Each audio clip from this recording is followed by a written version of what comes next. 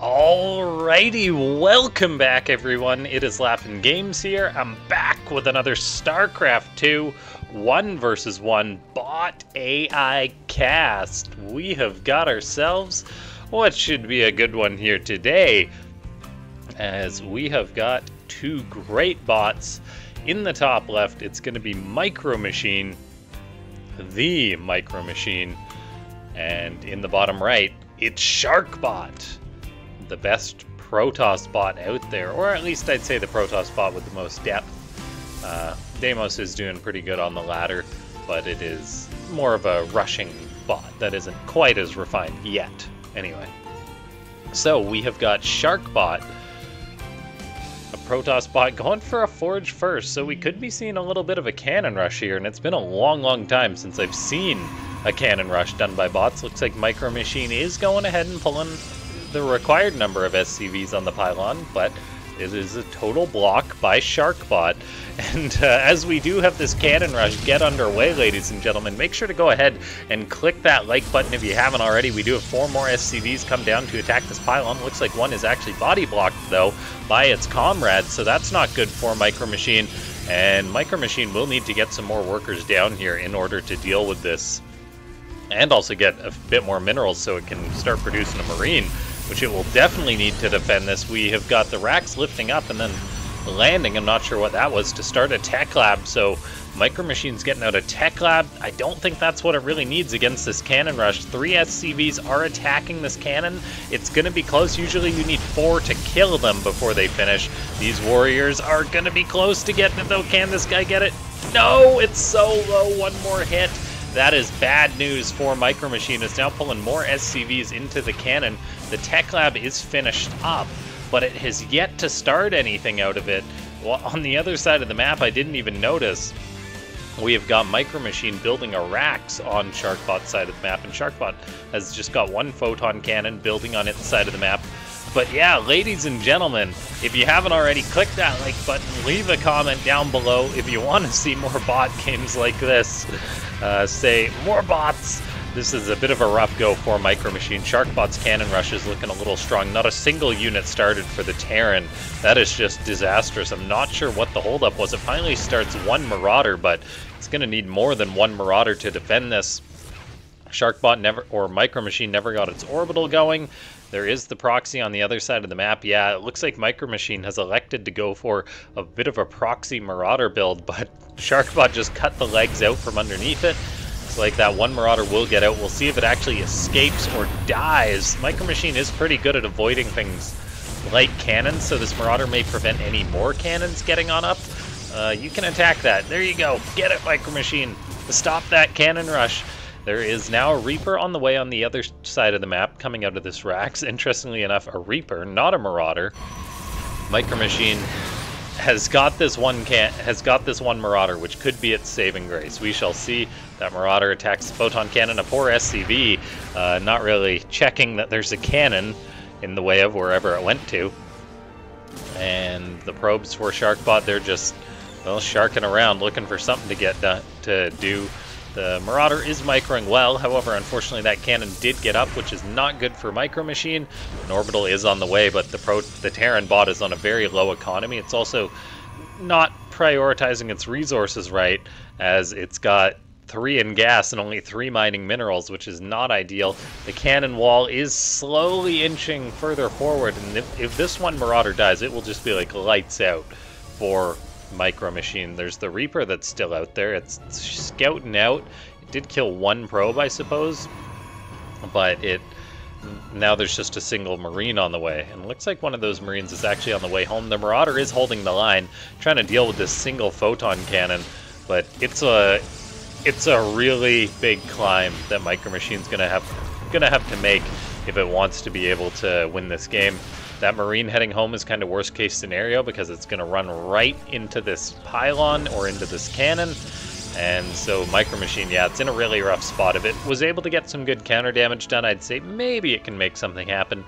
But Sharkbot with the cannon on its side of the map, with a Zealot out and a Stalker now on the way, things are looking really rough for Micro Machine. There's a factory on the way for the for the Terran bot, and it's kind of holding the line for now, as this one Marauder will shut down that other cannon, but there's two more that have actually successfully gotten up, and this, this is getting really close to the base of the Terran. I don't think that cannon will be in range. It's so darn close, though.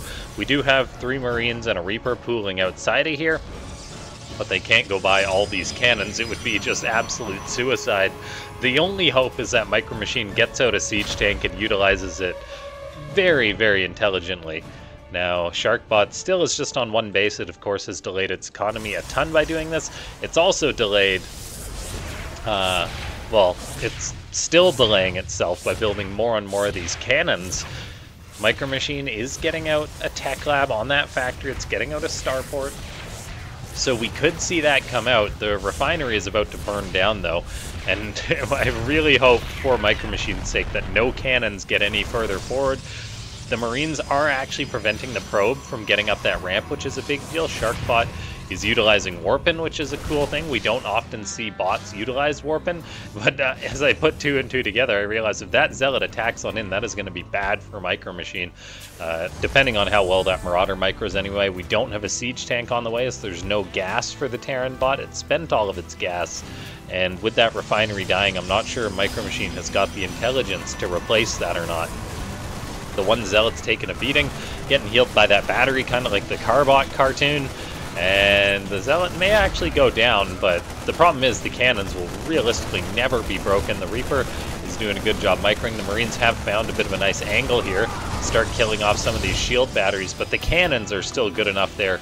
And oh man, yeah, the mining is being disrupted now uh, with a Stalker that got warped in. This one Marauder is not up to the task. And so things are looking really rough for Micro Machine. If it had another gas going, that would be that would be nice, but unfortunately Micro Machine built its gas towards the south instead of the north. And it, that just goes to show, because if the gas was towards the north, maybe Micro Machine would have actually been able to get out a Cyclone or a Siege Tank, something that would help break this, and maybe it would have been able to play this game out. Uh, but so far it's looking really rough. Micro Machine did have enough gas to squeeze out a single Marauder. Two Marines do get caught by two of the Stalkers a Shark Sharkbot, those stalkers actually somehow made it home going past these marines. I actually have no idea how that took place.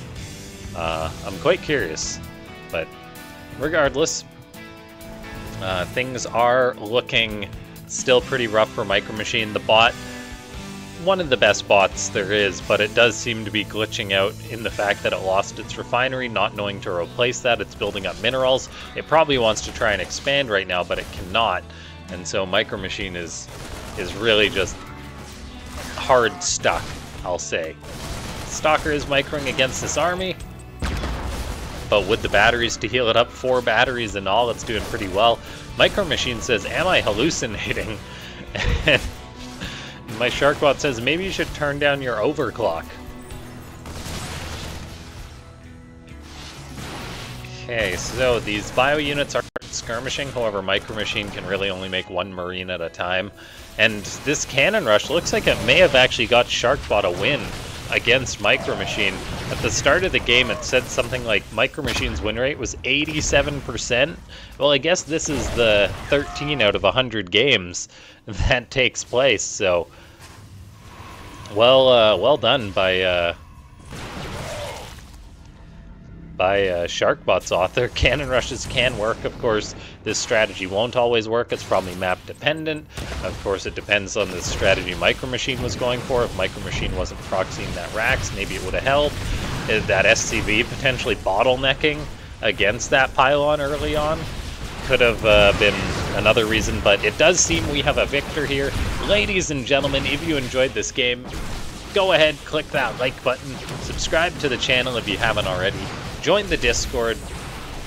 Uh, let's see, consider becoming a YouTube member. And yeah, just if you did watch all the way to the end of this video and you enjoyed it, go ahead and click that subscribe button if you are not. And I hope everyone didn't mind the bit of a shorter game today. I do enjoy seeing the shorter matches.